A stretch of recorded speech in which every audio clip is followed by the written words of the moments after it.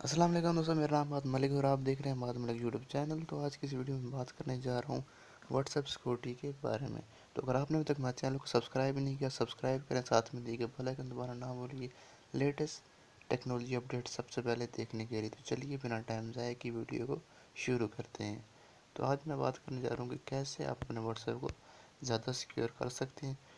ताकि कोई भी अगर आपके व्हाट्सएप को ऑन करे तो उसको आपके मैसेज चैट वगैरह ना दिखे। तो चलिए देखते हैं।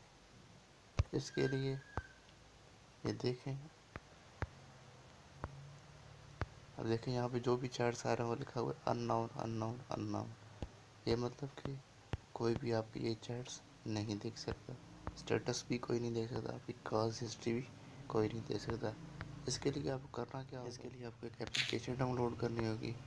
प्ले स्टोर में जाएँगे और वहाँ पे लिखेंगे व्हाट्सएप लॉक तो ये सामने तीसरे नंबर पे आएगी password for apps whats lock तो ये आपने यहाँ से इंस्टॉल कर लेनी है ओपन कर लेनी है फिर।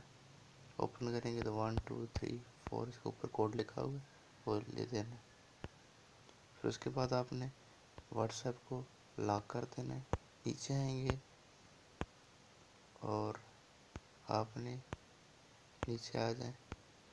नीचे यहाँ पर लिखा होगा इंटरेक्टिव कोवर उस पर अपने व्हाट्सएप का डाल देना फिर इसको अनेबल अब आपने व्हाट्सएप खोलना है ये देखना है। देखें आपका व्हाट्सएप अननाउन अननाउन अगर आपने चैट देखनी है तो आपको इस ये जो नीचे बटन नज़र आ रहा है ये इस पर एक दो और तीन दफ़ा आपने करना है। उसके बाद आपने one two three four code मिलाना और आपका ये आ जाएगा। स्टेटस भी आ जाएँगे ये भी। और यूँ ही आप इसको यूँ कट करेंगे दोबारा ओपन करेंगे तो फिर वैसा ही हो जाएगा। आपने जो नीचे मैसेज चैट वाला बटन बना हुआ है ये नीचे कोने में इसको तीन दफ़ा दबाना है। और फिर one two three four code डालना है।